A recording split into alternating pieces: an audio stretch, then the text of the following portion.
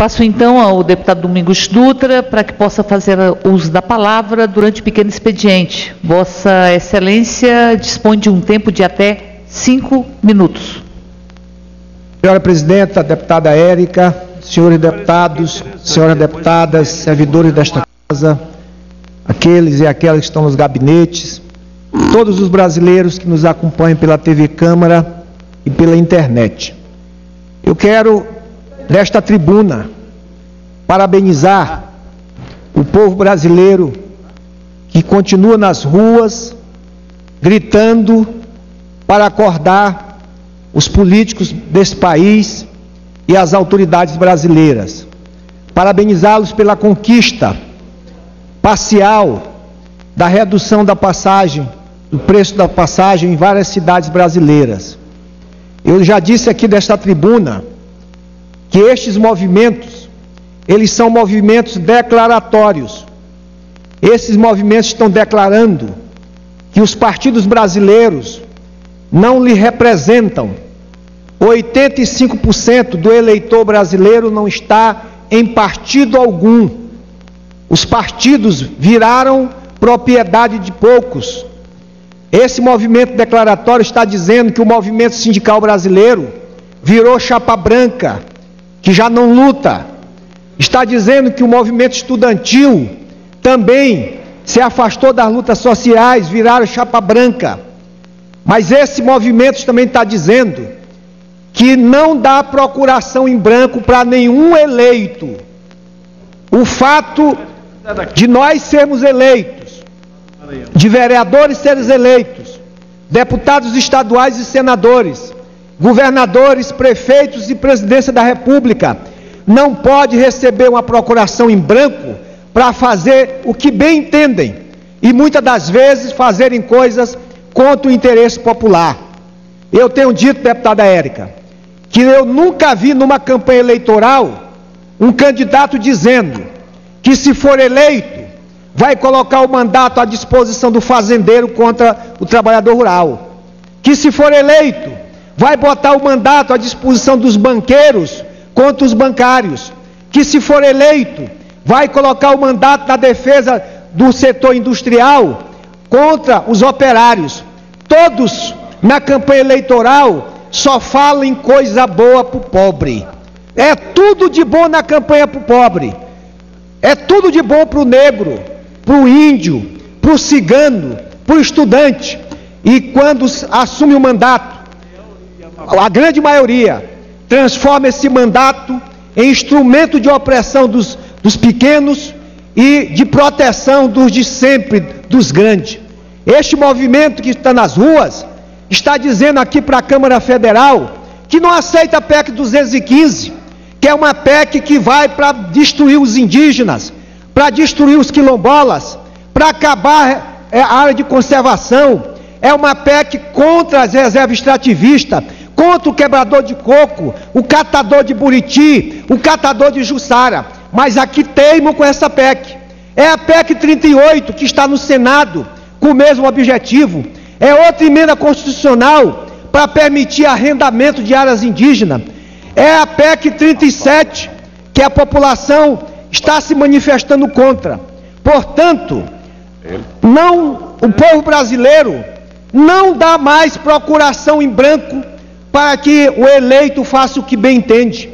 Os prefeitos se elegeram prometendo o céu e a terra para os seus munícipes. E depois de seis meses de mandato, aumenta o preço da passagem para pagar aqueles que financiaram a campanha.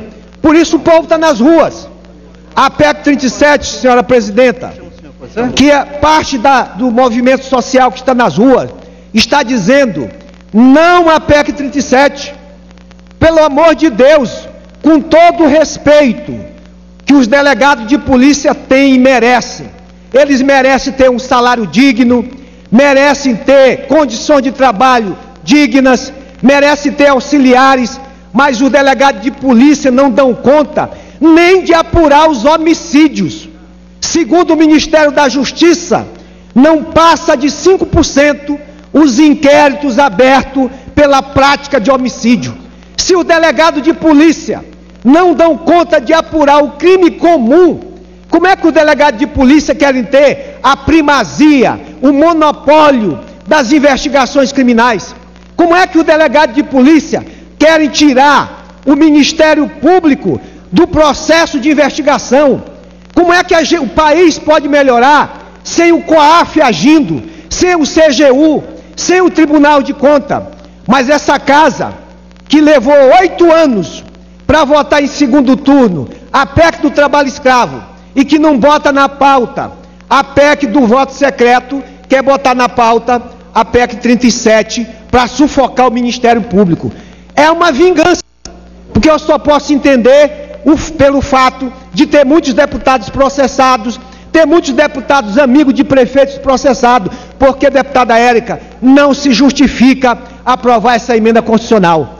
Aí foi preciso que essa multidão de gente colocasse nos seus cartazes, como aqui em Brasília, não a PEC 37, para de repente retirar essa emenda constitucional da pauta. Ou seja, parece que nós, a maioria dos políticos, se acostumou a só agir com a faca no pescoço.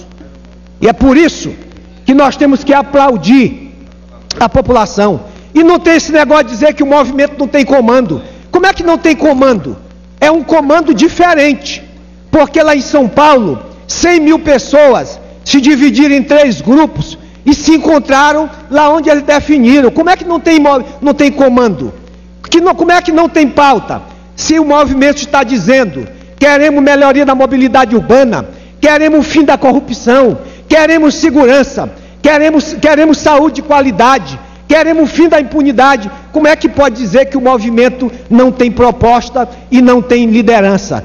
Tem comando sim, é diferente do comando que nós nos acostumamos a ter, que é de uma liderança falando e todo mundo ouvir. Portanto, senhor presidente, eu queria aqui parabenizar o Brasil que está nas ruas. Eu espero que todos entendam o que está ocorrendo, que nós, em 2014, que quem fizer discurso de um jeito na campanha que honre, mas que não vá para a rua prometer coisa boa para o pobre e depois se juntar aos ricos.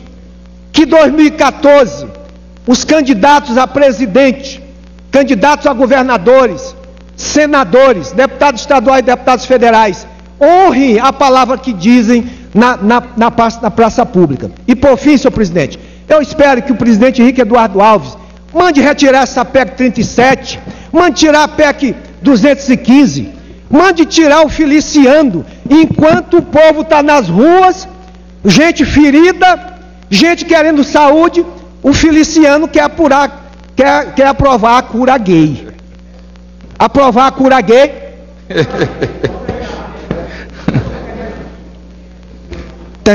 E o que é pior, o Feliciano que não existia aqui, está ameaçando a ministra Maria do Rosário, ameaçando o ministro Padilha e ameaçando a presidenta Dilma, dizendo que se a presidência, presidenta Dilma interferir, ele vai tomar providências. Aonde já chegou? A que ponto nós chegamos? O Brasil reclamando por coisas sérias e o presidente da Comissão de Direitos Humanos querendo curar gay. Portanto, fica aqui os meus votos de felicitações ao movimento Esperamos que o movimento seja pacífico, a maioria é pacífica e que esse movimento ajude a aprimorar a democracia e democracia não apenas o direito de ir e vir, democracia com direitos, o direito de ter educação, de ter saúde, de ter transporte de qualidade, de uma democracia que garanta a todos os brasileiros o direito de ser cidadão. Muito obrigado.